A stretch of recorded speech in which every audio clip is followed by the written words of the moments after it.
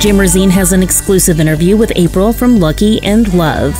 Inspired by artists such as New Order, OMD, Depeche Mode, Washed Out, PJ Harvey, and Cocteau Twins, their sound falls beautifully into an everyman's land between electro rock, dream pop, electronica, and synthgaze.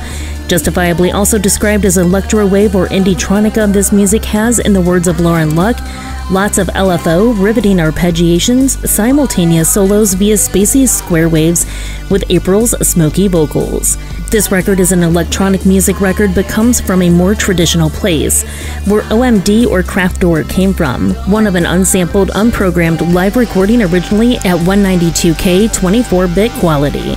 Musically, as much attention was paid sonically to the organic Moog instruments as April's voice, and we offered the analog synth space and the songs to breathe to their true dynamic potential, says Loren Luck. This album came to light through recordings at Eagle Rock's Cave Studio with Josiah Masashi, sessions with sound engineer Morgan Starry, and company studio with Grammy winner B. Husey. The vinyl release was mastered by Kevin Gray, who most recently engineered the reissue of Vangelis' Blade Runner.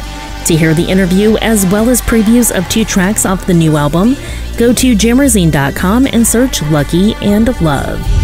Now, let's hear a preview.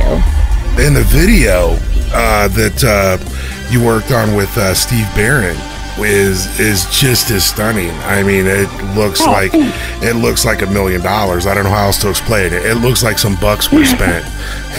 so, oh, well, thank you. So, um, well, you know, first to address like what you said about the emotion in this song. I mean, that was I thought you were going to say you're talking about Full Moon because that's one of our songs that's um, uh, drawn out, like I'm singing drawn out notes, and it's um, very heartfelt.